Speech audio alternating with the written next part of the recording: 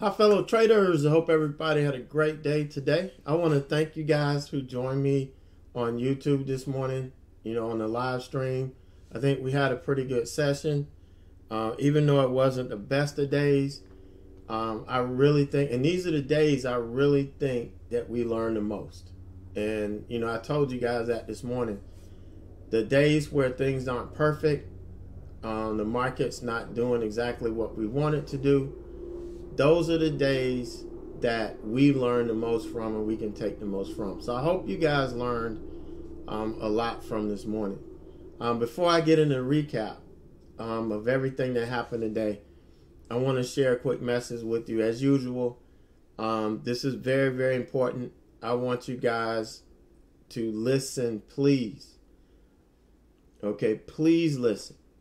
No, because when I started learning how to day trade, being a professional educator and knowing, you know, what I, for that matter, what others needed in the way of education and instruction in trading, I realized that there was this gap. And I've shared this story um, several times. I don't know how many people paid attention to it. But, you know, these trading educators were teaching D, E, and F.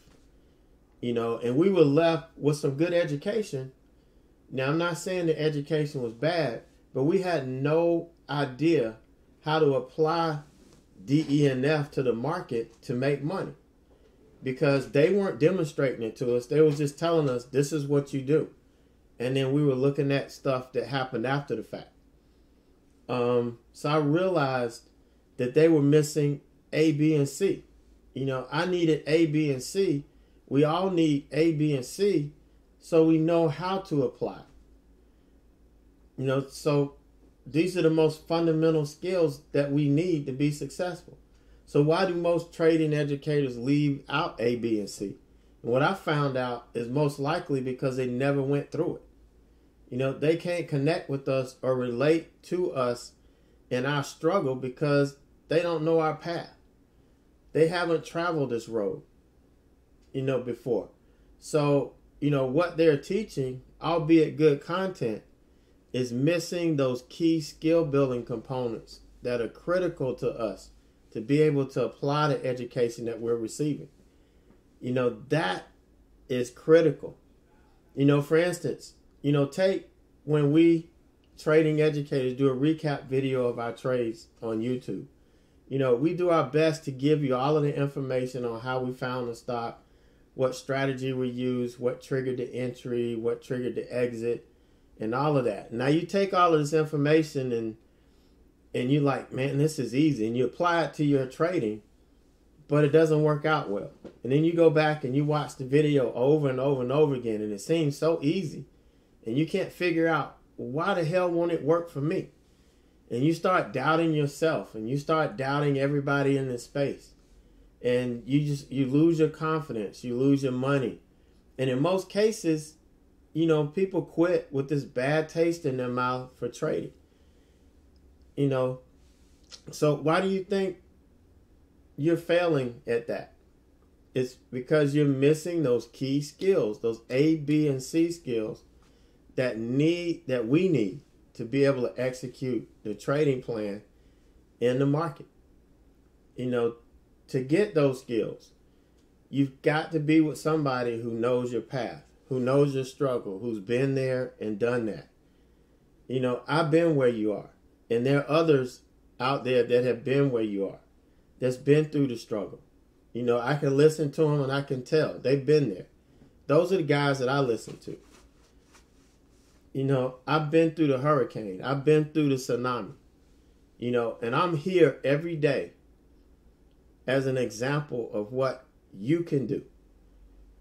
You know, this is why I share my life with you every day in the community. You know, I don't have to share the things that I do, but I do. You know, so I want to make sure you guys get all the A, B, and C information every day. You know, you've got to ask questions. You know, I can't just walk over to you, crack your head, and pour the information in there. You've got to ask questions. You've got to engage.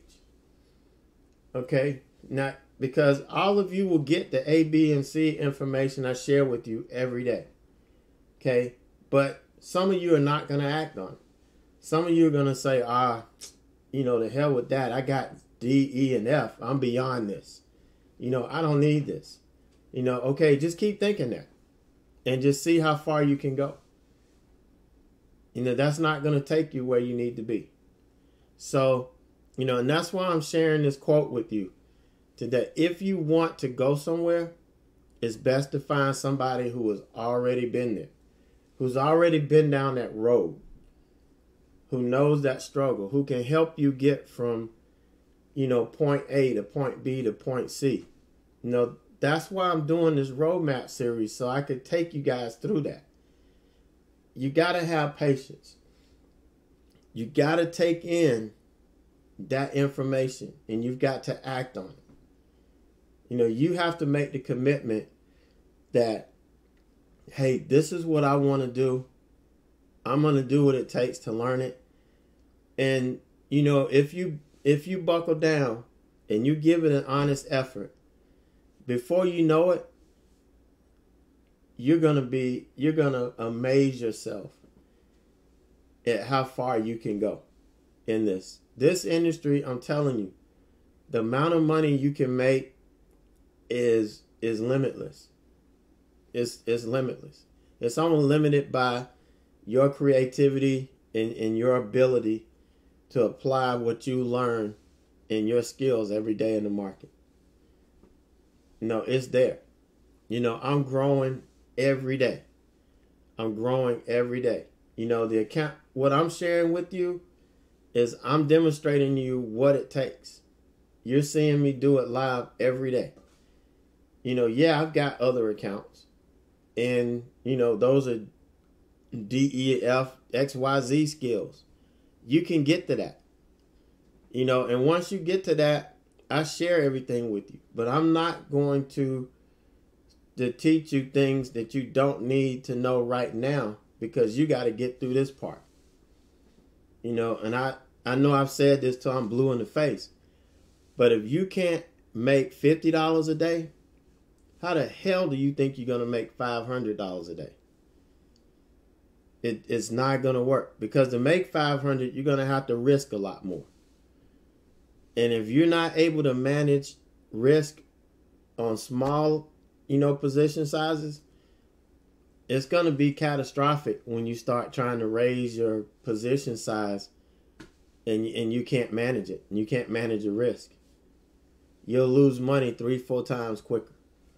So trust me. If you want to go somewhere, find somebody that's already been there and hook up with them. And like I said, it doesn't have to be me. It could be any there are other people out there that you may connect with even more. You know, you don't know. But make sure you do it. You find somebody that can teach you A, B, and C that shows you every day what to do, what not to do, when to trade, when it's good to trade, when it's not good to trade, when it's best to just walk away and come back after lunch you know, take your breaks. You know, stop sitting here looking at the market 24 7. You know, there are things, if you start doing the things and you start listening and acting on the information I'm trying to teach you, you're going to be surprised where you go. All right, so let's take a look at today. SQ was the first trade, and I know SQ is SQ. I know this. Um, so I'm trying to. Here's the five minute open range low. I'm looking to get it through. Um, I was waiting because we couldn't lose the 200 here. You can see how we sold off. We set, we put in this huge candle, and SQ. It it takes a while for SQ to settle down. Okay, so I kind of waited a little bit. We had the big sell off, we had the bounce, we had this big sell off candle here. And I felt, you know, once we rejected the VWAP up here and we started selling off, we sold through the 200 the opening range low, and I was waiting for it to get through red to green. And I kind of hesitated because I started to wait until it's closed and then get in on it, which is probably what I should have done in this market, and especially with SQ. I should have, you know, put the the the conservative spin on this and wait for all of these to actually get taken out versus anticipating. Um, but I kind of anticipated it because I know um, SQ has the potential to wash out huge. I mean, I thought we could have washed out all the way down to the 73 level um, this morning, but based on the way that it's traded. But I also know it can chop around, it can fool you, and that's pretty much what this thing did. Um, it chopped around, it fooled me. Uh, got in early, ended up stopping out, but I managed my risk. I only went in with 200 shares. You know, I could have gone in with 400. I only went in with 200 shares. I took half the size I would, you know, normally take. Or I could have gone in with 300 shares and done 150 shares, but I did, you know, 200. And I would have added 200, which is something new that we I was going to throw in this morning if it happened um, but it didn't. And so ended up stopping out. Thankfully, I managed my risk. I didn't hit, um, didn't go over my max loss per trade, and we were in it. You know, later on, now you see it ran all the way up and pulled back and hit this level, bounced, rejected here, and it worked its way down to the level that I was looking for most of the stocks that you see me trade eventually will get to the target I had set for it. Now, what happens is stuff that I can't control in the market. I can't control when things get bid up, when things get bought up. I don't know where um, these big guys are that are trying to build positions or where they're going to defend their positions and not let a stock go down any further. I, you just don't know that going into a trade. So you go in and you just have your plan and you just execute it. And you just don't worry about all the rest of this stuff. If it stops you out, you know, move on. And that that's what I did.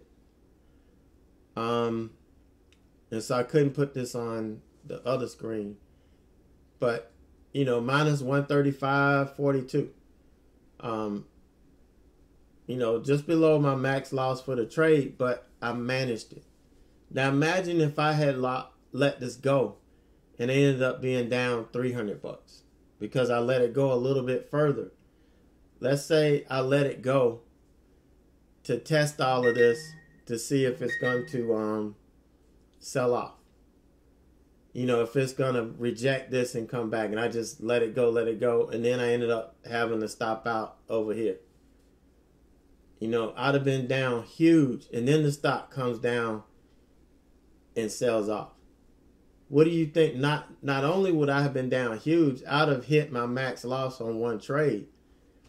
But what emotion would I have felt when I saw this thing come down, come back down and hit you know, the, a level here that I was looking at. And it's, it's work its way down. Get angrier and angrier and then start trading for revenge. You know, it's always a bad thing. So discipline here. Stick to your stop. You know, and that's what I did in this case. So the next trade we took was um, CCL, and this was going to be a uh, trend continuation trade where we were continuing the down the downtrend here. You can see how we bounced off of this. You know, this thing sold off hard going into the open. This originally this was not on my watch list. This put it on my watch list. You know, this got it going and I said I'm not going to do take this for opening range trade cuz it wasn't on my watch list. But I will look at it for a secondary trade. And that's what we did here was the open. We sold off. Um, couldn't break this level again. Know, this was an opening range low. This was a pre-market low. Both of these are significant. Um, so we came down, couldn't break it again. We bounced. We made a lower high relative to this bounce. And as we came through VWAP and the nine, I waited for this candle to open. It pushed up a little bit and it sold. Once it broke the low of this, I was in. Now, I know I shorted into the support. After 10, you know, after 10, the five minute opening range, I'm not even concerned with anymore. The only level I was really looking at was the pre market low. You know, so I knew I was close to it. But if it bounced off of this and we we still made a lower low, I felt we could still, you know, work this trade down.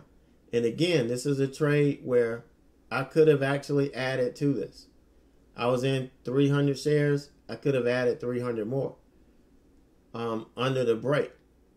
But, you know, I didn't. The market just wasn't there. I wasn't that confident in the market. So we ended up taking our first profit here right on target, uh, right below this. And, you know, I kind of held on for a minute. And I was getting ready to go to lunch. You know, I had to leave.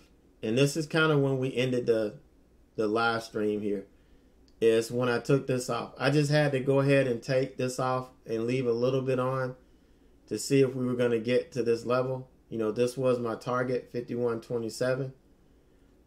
Um, and I thought we were going to do it. We came down, and damn if it didn't go back and stop me out. And this was kind of a mistake on my part. You know, every time we took out a level, I was lowering my profit stop, lowering my profit stop. I had it at 52. And once we made this dip, I was like, well, I could bring it down to 75. But I didn't realize that 75 was going to be right where the 20 was. And the worst mistake you can do is to put your stop on a um, moving average or a level or whatever. You you want to place your stop if you're short. You want to place your buy stop five to ten cents above this level. So really, I should have left it at 52, and I could have changed it once we got through this. But it came up and it stopped me out, and it wasn't that it was was searching for my 50 shares. And I know sometimes you feel like your broker or whoever, when you put in your stop, it just automatically goes to and seeks it. What happens is a lot of times you may put your stop where most traders will put their stop. And I'm smarter than this. I'm smarter than to put my stop on a level. But, you know, I kind of, you know, I don't know if I was mentally fatigued or just thinking about something else. But I didn't check this and it turned around and nailed me. Um, cost me a little bit of profit here. So that's what you got to, to think about when you place your stop, if you have to reduce your share size a little bit to place your initial stop above a level, then do that. Because uh, market makers will see a grouping of orders around a certain point and they may just take it out and just and keep on going. So you want to make sure that you know when you put your stop don't do what i did here. This was you know a mental error. Um but you know still um $178 on you know this trade. Not bad. You know not bad. I'm not to complain about it. Yeah it could have been a 200 plus dollar trade but you know woulda coulda shoulda don't pay you um, when I did my reflection, I saw this and, you know, realized what I did. So I made a note. to, you know, just make sure that you already know to do it, but just make sure you double check it, especially later in the day. All right, so the last trade we took was a breaking news play, and I took you guys through this in chat. You know, you guys that were still there. Uh, we had the breaking news with QCOM and um, Apple. You know, something about their lawsuit or whatever, and we had the big pop. So you never want to chase the initial pop. Can never want to chase it. You know, and I almost got long here, but I didn't like the price action. I I look for what happens and, and what I do in this strategy, I look for the initial move, the initial reaction. And then I wait for a pullback to half the initial reaction. Well, the problem was this was still the initial candle, the initial reaction. So technically, you know, and I had to, to remind myself that this was not a pullback from the initial reaction. You need to wait for the next candle to print and, you know, work it from there. And this thing almost baited me in the chase, you know, because I was like, damn, I, you know, this is where I need to be. But, you know, I waited and waited. And when I got a clear confirmation that we were probably going to head up, that's when I got in. Um, we kind of we hit our first target, which was around um, the level was like at 58, right around. So I, what I did was I gave myself some cushion. So hit it at 57.90, where I took half off, and you know took the rest off up here around 58.25. That was my next target. My final target was around 58.60. That's what the next level was but it just kind of sold off into the close. And, you know, I wasn't going to hold it after the close. You know, so this really doesn't matter. But uh, once we lost the 20, I just got out. You know, sometimes you get a sell off and then a huge bounce.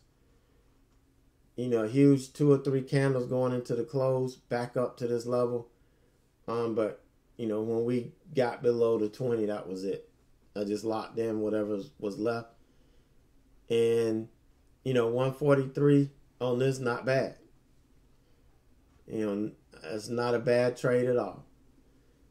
So, you know, even though we lost on the first trade, um, you know, 132.47 a day, not anything to write home about, but you got to understand what market conditions we're in. You know, we're not in the best of market conditions. Um, I'm trading, you know, these stocks between 20 and, you know, 100 bucks. And if there's no catalyst, that it's hard for them to move. And so they'll move on an initial catalyst. And we did keep some added volume throughout the rest of the day, which kind of helped drive this. So that was the good thing. It just wasn't as good as we wanted it. But you know, hey, it was today was a test of patience and you know believing in in yourself and just executing the trade not worrying about anything else execute it it's either right or wrong you move on go to the next one so that was the day um, we're just we're slowly creeping on through the week um, you know maybe you know one of these days will probably give us a good day you know, it could be tomorrow, it could be Thursday. You know, hell, we may be surprised in this Friday. Friday's the last day of the month, the last trading day of the month. You know, because Monday is going to be um, April 1st. So, at least I think that's what my, you know, sometimes I can't read a damn calendar either. But you know, I'm thinking that's what it is. So, you know, Friday may give us a good day. You know, never know. Don't predict, just prepare. And then that's what we're going to be doing. So, you guys have a great night, great evening. If you haven't seen the live feed from this morning, um, the recording is right here on YouTube. I'll put a link in the description part of this so to make it easy for you to see, find, and um, you know, we'll catch up with you guys tomorrow morning.